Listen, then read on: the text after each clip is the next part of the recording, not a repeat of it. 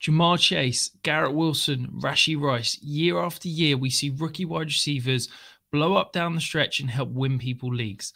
I'm going to walk you through five rookie wide receivers that you do not want to be leaving your redraft leagues without.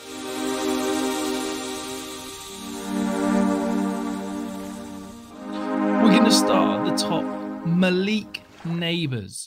For me, he was a wide receiver 1A, wide receiver 1B with Marvin Harrison Jr. when they were coming out as prospects.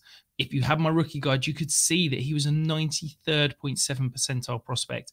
I loved Malik Nabers, the ability in terms of route running, ability to get open downfield, but also his phenomenal ability with the ball in his hands.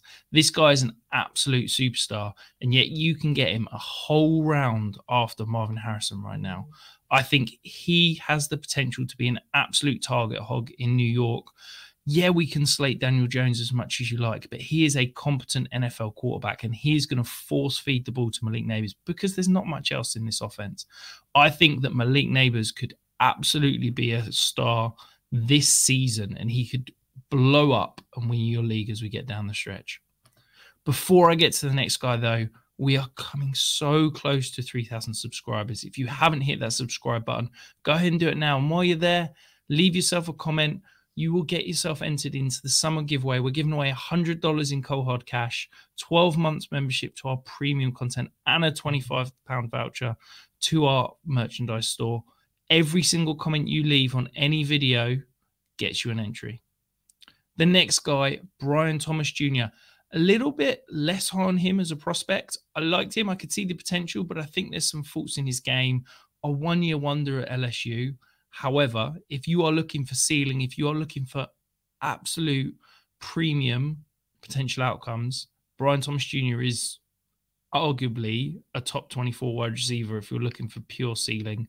He's going to be paired with Trevor Lawrence. There is no true number one target in this offense.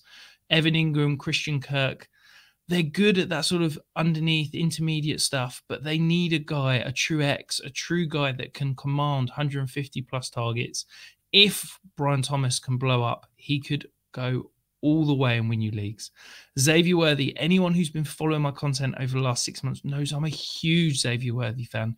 He is so much more than just a deep threat that people are trying to paint him as. He is a good route technician. And I think that the Chiefs offense and the Andy Reid is going to get so many ways for him to get three releases and, and make some uh, moves downfield.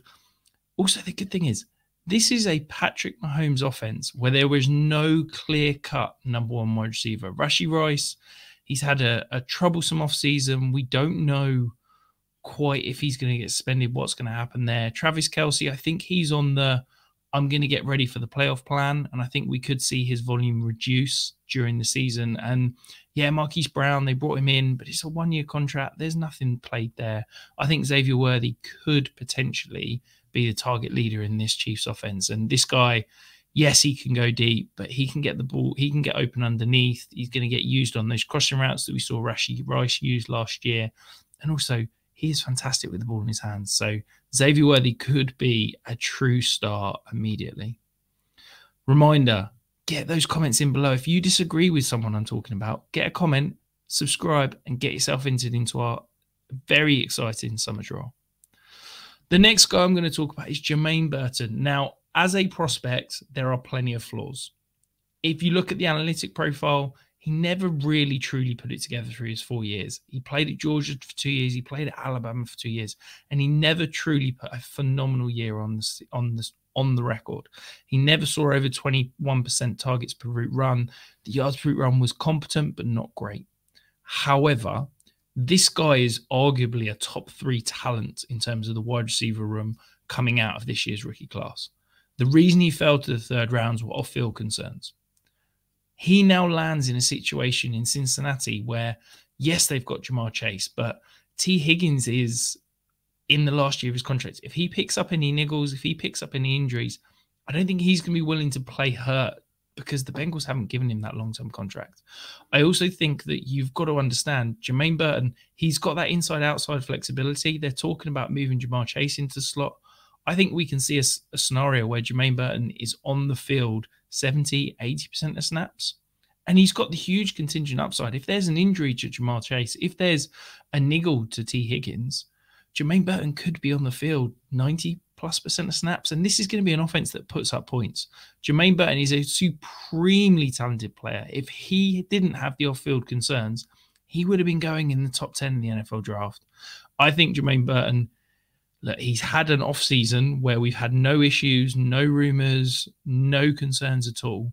If he can keep his head on straight, he could be phenomenal in the NFL. The final guy I'm going to talk about, Malachi Corley.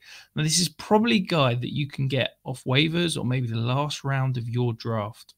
He is going to be tied to potentially an improved offense. Now, yes, I'm a Jets fan, but Aaron Rodgers is going to bring this offense forward leaps and bounds. And there's no number two target. We know Garrett Wilson's probably going to see 150 plus targets, but Mike Williams coming off an ACL tear. He's only just got off pup. I'm not convinced that he's going to be fully healthy to start the season. Xavier Gipson, decent returner, shown some flashes last year, but he's been injured in the preseason. Tyler Conklin is a tight end, maybe, but there is a path and a clear path to targets for Malachi Corley immediately. He is phenomenal with the ball in his hands. Go and look at his usage in college. There is he's the only player that had a usage where his YAC his uh, average depth of target was so low that his YAC outstretched his average depth of target. People throw around the Deebo comps absolutely ridiculously, but this is a guy that could see usage similar to Deebo Samuel or Rashee Rice last year, where the average depth of target is around four or five yards downfield, but he's just being allowed to go and make something happen after after the catch. I think that Malachi Corley has a path to supreme upside and could potentially go win you some leagues. Do you disagree? Do you think there's anyone that I've missed? Let me know in the comments below.